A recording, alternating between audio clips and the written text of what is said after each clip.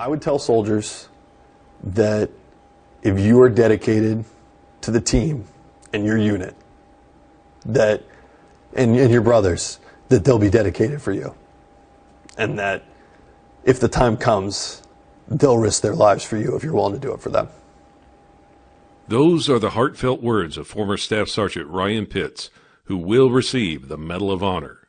On the outskirts of the village of Wanat in the Nuristan province, just after 4 a.m. on July 13, 2008, the entire valley erupted in fire as at least 100 insurgents attacked a new patrol base and nearby U.S. observation post. I heard a burst of machine gun fire to the north, and then RPGs or, or hand grenades or both rocked our position and simultaneously attacked a lot of other positions.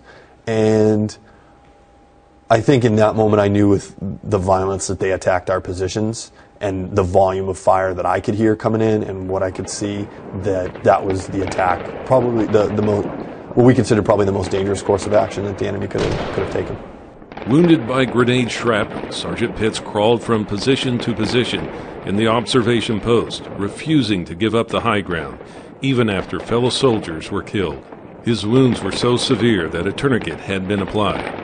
Now alone in the observation post, he stayed in the fight, repeatedly tossing hand grenades at oncoming insurgents and manning an M240B machine gun under a hail of enemy fire until other soldiers could respond.